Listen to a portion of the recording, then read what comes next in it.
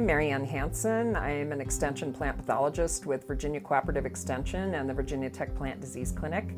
And today we're going to discuss the disease called boxwood blight.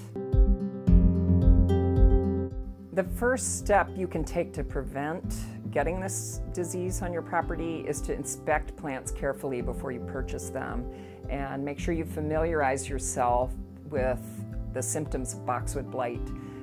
You can refer to the Virginia Boxwood Blight Task Force website, which has a lot of information about boxwood blight, including pictures of the symptoms, so that can help you to be aware of what you're looking for when you go to purchase new plants. And make sure you purchase your plants from a reputable source, for example, a, a, nursery that's in the Boxwood Blight Cleanliness Program. And there are a list of the nurseries that are in this program on the Virginia Department of Agriculture and Consumer Services website.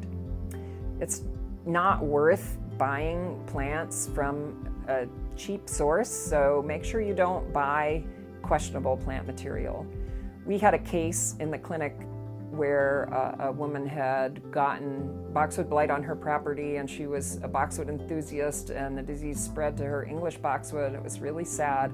And it all came from one little container plant that she had purchased at a local retail center. And when the Virginia Department of Agriculture and Consumer Services went out there to inspect this retail center after we found out the disease was there, they found a whole group of plants back in the corner uh, that looked pretty bad with symptoms of the disease, and there was a sign on them that said 40% off. Don't buy plants that are 40% off, it's not worth it. Think twice about buying boxwood greenery. Um, although, if you love wreaths with boxwood in them, like I do, it's fine to purchase them. Just make sure that when you discard them after the holidays, you bag them up and get them to the landfill and don't leave them lying around the landscape. You can also purchase resistant cultivars.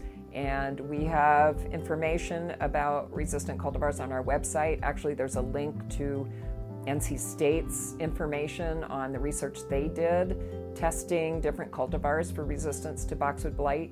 And so, purchasing resistant cultivars can help you prevent introducing the disease. Still, you want to inspect those plants carefully because although they have resistance, they're not completely immune to the disease.